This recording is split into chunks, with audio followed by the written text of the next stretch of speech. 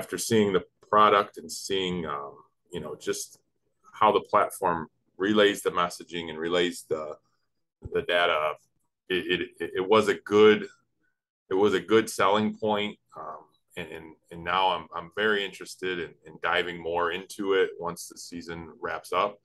My most significant impact on our our, our kids can be is how do how are we um, how are we practicing day to day how many impacts are we getting compared to last year? How many do we need? Um, mm. how, how, how many um, impacts during a game compared to a week of practice right